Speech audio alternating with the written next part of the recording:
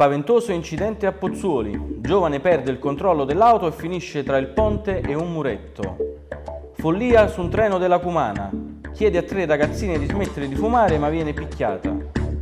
Il mare di Pozzuoli è balneabile. Outlicola. I dati dell'ARPAC. Ai nastri di partenza il Festival dello Sport a Monteruscello. Tutto pronto per la decima edizione di Malazè. Salve a tutti e benvenuti a questa nuova edizione del video giornale di Cronaca Flegrea. Apriamo subito con una notizia di cronaca che ci giunge da Pozzuoli. Perde il controllo dell'auto, esce fuori strada e finisce per incastrarsi tra il ponte e un muretto. È accaduto sul ponte Copin, nei pressi della solfatara di Pozzuoli. Illesa è rimasta la conducente della Fiat 600, incastrata tra un pilone della grossa struttura e il piccolo marciapiede. Una scena che ha fatto temere il peggio, vista la posizione in cui è finita la vettura. Sul posto sono intervenuti gli agenti della Polizia Municipale di Pozzuoli e i Vigili del Fuoco. La conducente è una giovane residente nel comune di Quarto. Ancora in fase di accertamento le cause che hanno provocato l'incredibile incidente. Tra le ipotesi al vaglio degli inquirenti ci sarebbero l'alta velocità e probabilmente una distrazione, vista anche la posizione in cui è finita la vettura. Fortunatamente nessun altro veicolo è rimasto coinvolto. E con la cronaca restiamo ancora a Pozzuoli. Follia su un treno della Cumana dove una diciassettenne è stata presa a calci e pugni solo per aver chiesto a tre ragazzine di non fumare più. È accaduto presso la stazione di Lucrino. Sul posto sono intervenuti i carabinieri che hanno denunciato in stato di libertà due ragazze napoletane di 15 anni ritenute responsabili di lesioni personali e di interruzione di pubblico servizio per lo stesso motivo è stata segnalata al Tribunale per i minori una ragazzina di 12 anni, in quanto non imputabile. La diciassettenne aggredita è stata portata in ospedale, ne avrà per 5 giorni.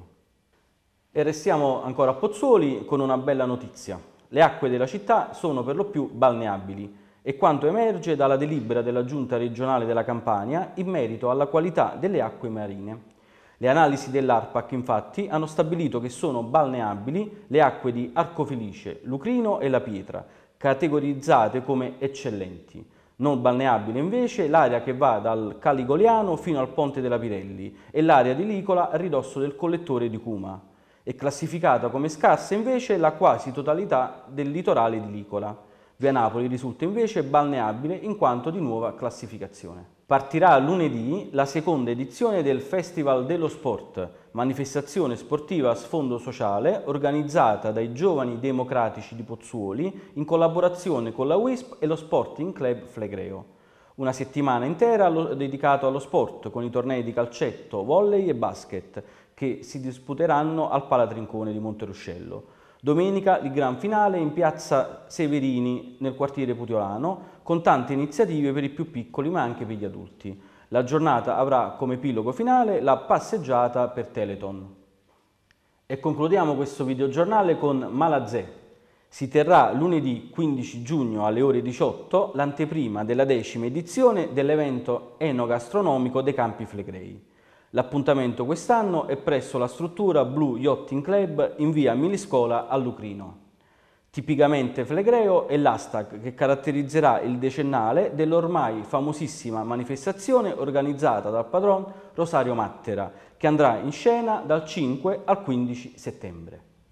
E a questo punto non mi resta che salutarvi e darvi appuntamento alla prossima edizione del videogiornale di Cronaca Flegrea.